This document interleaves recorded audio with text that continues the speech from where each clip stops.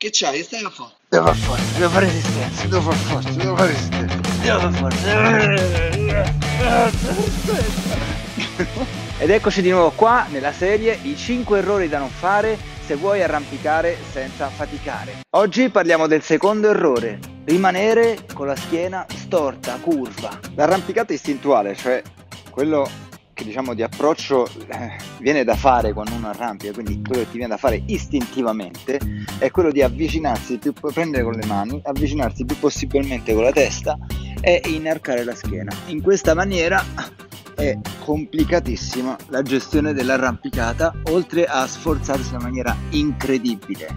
Quindi si perde completamente la gestione del peso e quindi si perde forza e in più si perde il contatto visivo con, con la parete, quindi non, si, non ci si rende più conto di dove uno deve andare. La soluzione risiede in come siamo fatti, cioè l'essere umano è di fatto è, viene determinato dalla sua postura, cioè la postura eretta. Questo cosa vuol dire? Vuol dire che scarica il peso attraverso una linea longitudinale, un asse chiamato, che attraversa il corpo dal, dalla testa ai piedi. La maggior parte di questo asse viene mantenuto dalla schiena.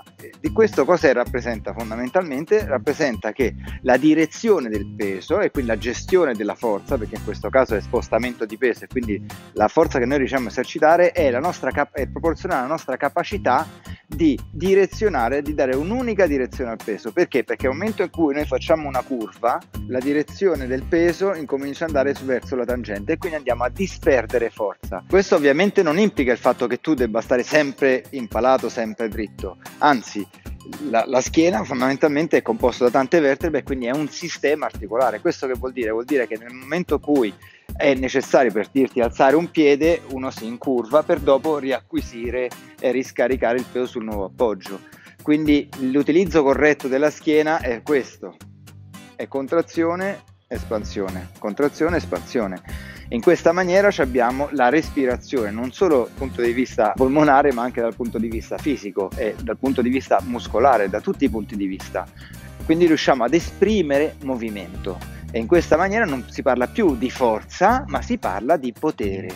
Una volta determinato l'asse, non è finita qua, perché questo cosa vuol dire? Che noi siamo un asse, ok? Quindi riusciamo a scaricare bene il peso, però ci relazioniamo con un altro piano. La relazione fra due piani, attenzione che queste se noi siamo così e la parete in questo caso è questa, non possiamo metterci in questo modo. Questo modo è parallelo. Parallelo vuol dire che non hanno intersezione, vuol dire che non c'è scarico di peso. Quindi se noi vogliamo fare in modo che il nostro peso non solo venga direzionato, ma sia scaricato sulla parete da qualche parte, fondamentalmente dobbiamo inclinarci per dietro e quindi cambiare l'assetto da diciamo quello che è eh, normalmente la postura eretta, a cambiarlo con, aumentando l'inclinazione per dietro. In questa maniera noi generiamo un angolo di incidenza che favorisce lo scarico del, del peso.